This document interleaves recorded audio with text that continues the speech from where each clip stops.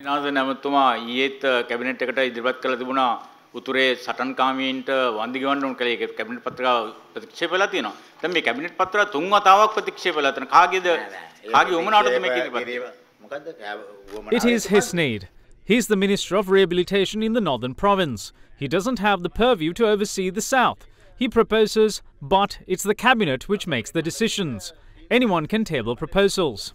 ඕන කෙනෙකුට ඉදිරිපත් කරන්න බැරි. ඒක සඳහන් වෙලා තියෙනද යුද්ධයේදී මියගිය කොටි සාමාජිකයන්ගේ පවුල්වලට බන්ධ කිරීම කියලා. නෑ ඒකේ තියෙනවා It mentions a lot of fields, around 10 in fact. Compensating LTT cadres is removed and other fields will be executed.